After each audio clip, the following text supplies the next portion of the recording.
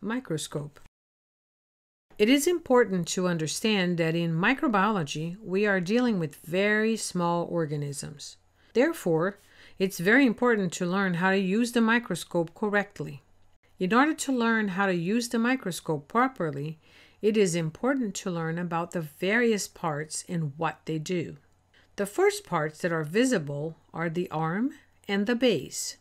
These are important as you carry the microscope holding on to these with two hands, one on the arm and one on the base. The ocular lens are the set of lenses that extend from the top of the microscope. These are the lenses that you look through. Most microscopes are binocular and have two ocular lenses. On the side of the left ocular is a numbered scale called the vernier. This scale should be set to zero. The objective lenses are a set of small tubes located just above the stage. They are mounted on a rotating platform that can move right or left. When they are in the right position, they snap into place. The objective is placed over the material. This is the lens you place over the object that you're observing. On your scope, there are several objective lenses. The scanning objective, the 4X, the lower power 10x, the high dry 40x, and the oil immersion lens 100x. Remember, the longer the objective lens is, the more powerful it is, and the closer that it will need to be to the material that you're focusing on. The highest power lens, which is the oil immersion lens, has a white ring near the bottom and should never be used unless oil is placed over the material to be observed. The stage is where the slide with the sample is placed for observation. The stage normally has clips that hold the slide in place.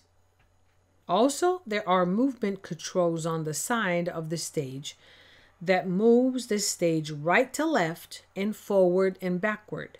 This helps position the material in the center of the area of view. These controls are moved by rotating knobs be- below the stage. There are focusing knobs mounted above the base of the microscope that are used to move the stage up and down.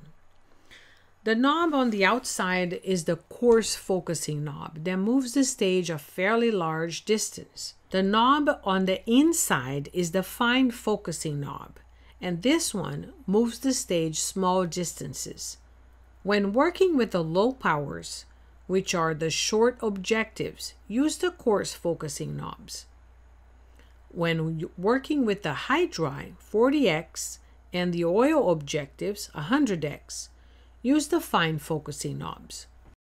The condenser. The condenser is a large lens structure attached to the bottom of the stage. The condenser is responsible for focusing light through the object to be viewed.